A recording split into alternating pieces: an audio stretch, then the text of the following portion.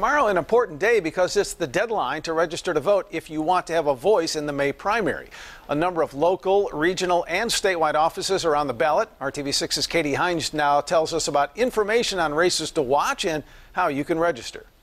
The primary election in Indiana is one month from today, and both Republicans and Democrats are working to bring people to the polls here in Marion County for a number of key local races. Yesterday, we were in every township in the in the county, knocking on doors, candidates going door to door, uh, volunteers going door to door. We work the telephones, um, and we work word of mouth with events in, in any way that we can. Here in uh, Marion County, in support of our uh, Republican slate, uh, there are uh, large efforts to uh, turn out the Republican base. Two of the races to watch in Marion County are for the sheriff's and clerk's offices. Both primaries for the clerk's office are contested, and the rhetoric is already heating up in the race for sheriff, where two Democrats are vying for a spot on the November ballot against a Republican candidate. We certainly believe we have an opportunity in the sheriff's race. Uh, not only do we have an outstanding candidate in Emmett Carney, uh, but uh, the incumbent Democrat sheriff uh, has uh, been uh, ineffective in managing his office. John Layton has been a great sheriff and will continue to be a great sheriff. He's been nationally recognized for his work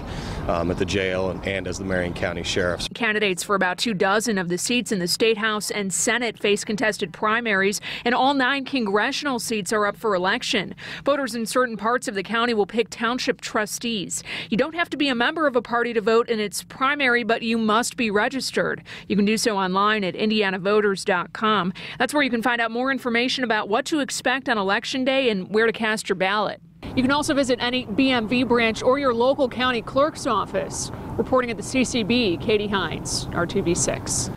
Of course, you have to be 18 years old to vote, but teens who will turn 18 between now and the general election can vote in the primary. Another race to watch, says Katie, will be the primary election for the first ever mayor of Fishers. The town will officially become a city in 2015.